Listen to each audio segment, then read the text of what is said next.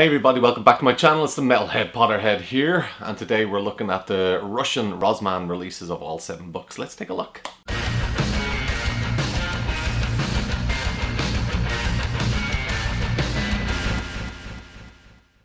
So I said at the time I starting up this channel, um, the main focus I have is collecting the books, um, different translations, that type of thing. But one thing I want to do different to a lot of collectors is physically be in the countries and buy the books myself, which I did recently during the summer. I was in Moscow and I went to a weird bookstore and yeah, it was strange. Uh, like it was in the middle, actually it was a hundred kilometers north of Moscow, but it's still in Moscow. And um, it was just strange. it was like something out of Diagon Alley. It's I, I, I should have taken some pictures, but I was there at my band playing a concert, so it was just a quick rush in and rush out.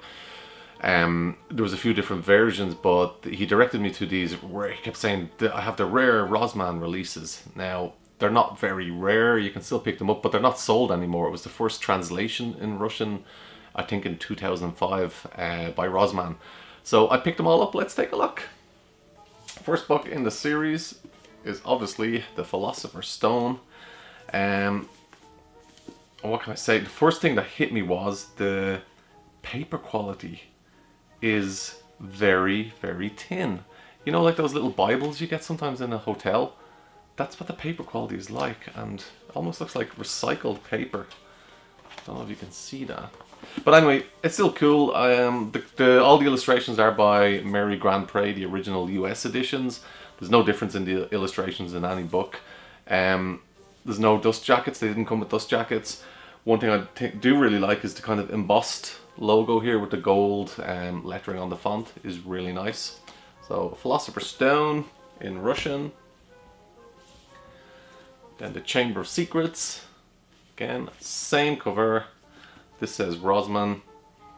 Um, it's got that Harry Potter logo. It doesn't say Wizarding World on it, so these are... Let me see. Let's check. Let's check. I'm pretty sure these editions are from 2005, and they were the last Rosman versions. Uh, 2006. Okay, and that was it. That's the last Rosman had to do. I don't know why. There's another translation people doing the books now, apparently. Um, Prisoner of Azkaban. I think it's really cool just to have these books in Russian. Can I read Russian? Of course not. The Goblet of Fire. Harry, did you put the name of the Goblet of Fire? He said calmly. Uh, another thing I noticed as well, if you can see the kind of the rounded edges on them. So cool.